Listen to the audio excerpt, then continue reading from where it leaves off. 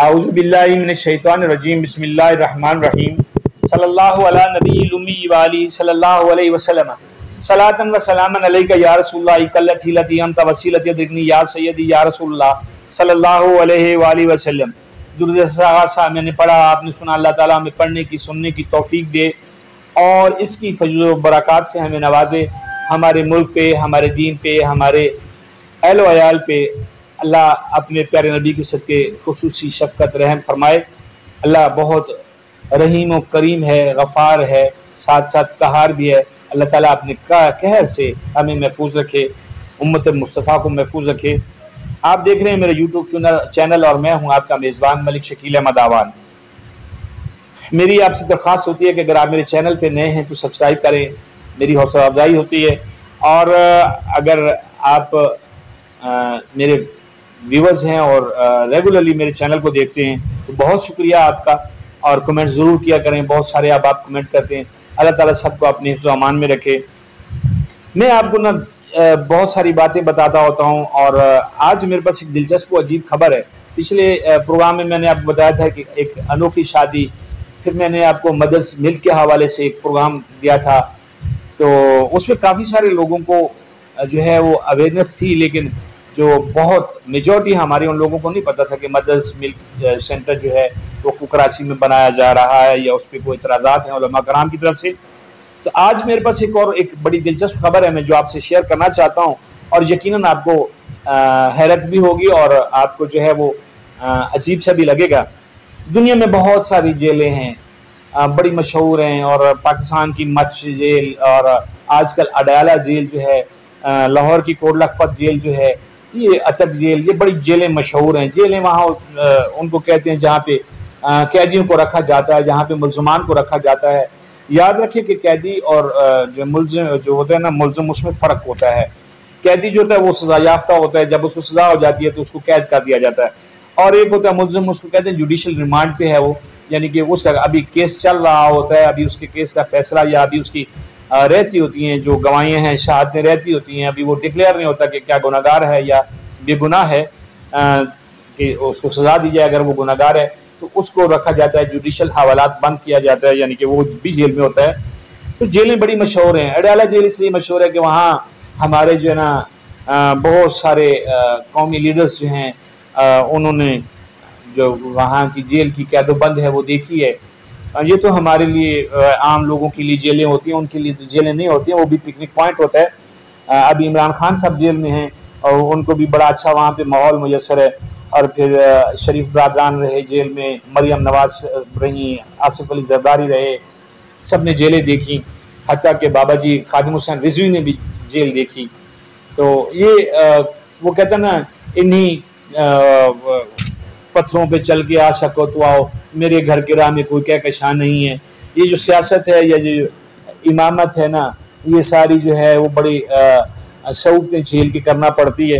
بہرحال میں آپ کو نا جیل کی بات بتا رہا تھا، تو جیلیں بڑی بڑی خطرناک بھی ہیں۔ اور بڑی جو ہے وہ بہت بڑی بڑی جیلیں ہیں۔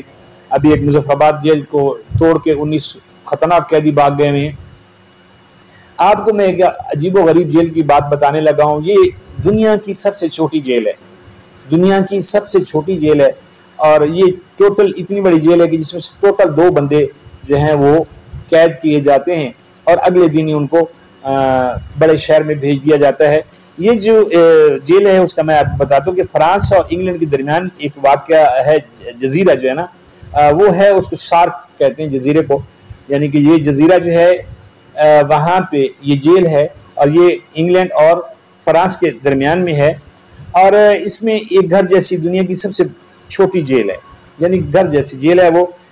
اس میں مجرموں کو قید رکھا جاتا ہے، دو کمرے ہیں اس میں اور اس کے علاوہ اس میں کچھ بھی نہیں ہے۔ لکڑی کے وہ بیڈ بنے ہوئے ہیں اور چھوٹا سا اندر جو ہے وہ ہے ان کے درمیان رستہ ہے اور سکس بائی سکس کا جو ہے نا یہ دو کمرے ہیں۔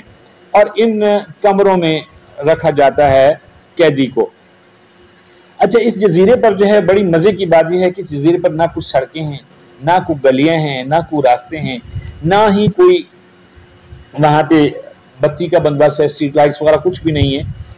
اور یہ جو قیدی یہاں پہ آتے ہیں، قیدی یہ زیادہ سے زیادہ وہاں پہ دو دن رکھے جاتے ہیں، اس کے بعد آگے ٹرانسفر کر دیے جاتے ہیں۔ اور پوسی جزیرہ جو ہے، گرنسی، وہاں پہ جو ہے نا ایک بڑی جیل ہے، وہاں پہ منتقل کر دیا جاتا ہے۔ اور یہ جیل جو ہے، یہ بہت قدیمی جیل ہے۔ اٹھارہ سو چھپن میں یہ بنائی گئی۔ اور اس پر جو، یہ جو جزیرہ ہے، ذرا تھوڑی سی اس کی بھی بات سن لیں۔ یہ جزیرہ جس کو شارک کا نام دیا گیا ہے، یہ جزیرہ پانچ کلومیٹر لمبا اور ایک اشریہ چھ کلومیٹر چوڑا ہے۔ جس کی آبادی جو ہے، وہ چھ سو سے بھی کم ہے۔ اب اس آبادی کے لیے، چھ سو سے کم آبادی کے لیے میرا خیال دنیا کی سب سے کم آبادی ہوگی ایک کسی جزیرے پہ اور سب سے چھوٹی جیل جو ہے وہاں پہ ہے۔ تو یہ میرے پاس ایک دلچسپ خبر تھی، میں نے کہا میں اب آپ سے جو ہے شیئر کرتا ہوں تاکہ تھوڑا سا جو میری خشک باتیں ہوتی ہیں، جیسے میرا پہلا پروگرام میں نے گندے نوٹوں کے حوالے سے کیا یا کوئی اور دیگر پروگرام کرتا ہوں۔ تو ان میں ایک تھوڑا سا آپ کی جو نالج ہے، اس کے لیے بھی پروگرام کر لیا جائے۔ تو یہ تھی ایک چھوٹی سی کہانی، ایک چھوٹی سی جیل کی جیل تو جیل ہوتی ہے، چاہے وہ بڑی ہو، چھوٹی ہو، جیل جیل ہوتی ہے۔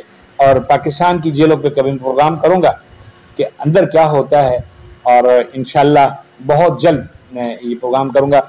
کوشش تو یہی ہے کہ محرم کے بعد کروں، کیونکہ محرم میں ہماری جو ٹیم ہے، ہمارا ارادہ ہے کہ محرم میں جو ہے، وہ یکم محرم سے لے کر آخری محرم تک جو ہے جتنے بھی روزانہ بیسس پہ واقعات پیش آتے رہے ہیں اس حوالے سے کسی جو عالم دین ہے، اس سے ہم رابطے میں ہیں کہ یہ پروگرام کیے جائیں اور انشاءاللہ آپ کی نظر کریں گے۔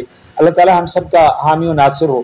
دعا کیجیے اللہ تعالیٰ قید و بند کی سختیوں سے جو ہے بے گناہ لوگوں کو نجات دے۔ اللہ تعالیٰ سب کو ہدایت دے۔ ان کو بھی ہدایت دے جن لوگوں کو قید کرتے ہیں۔ ان کو بھی ہدایت جو دے، جو قید ہوتے ہیں۔ اور ان کو بھی ہدایت دے جو قیدیوں کی رکھوالی کرتے ہیں۔